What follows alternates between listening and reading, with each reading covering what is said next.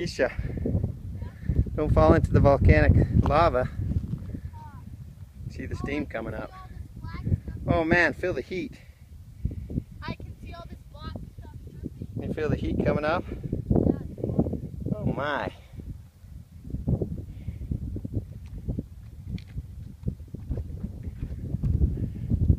You're right on top of it.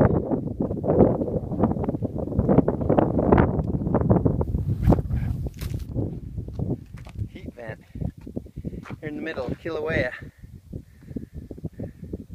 Wow, look at the steam come off that. Think you're supposed to be up here? I don't know. All I know, this is the most amazing place next to being on Mars. We're inside the Kilauea crater volcano. Let's go back down. The most recent mountain I've ever seen right there. It's 56 years old is all when this was a, la a lava molten lake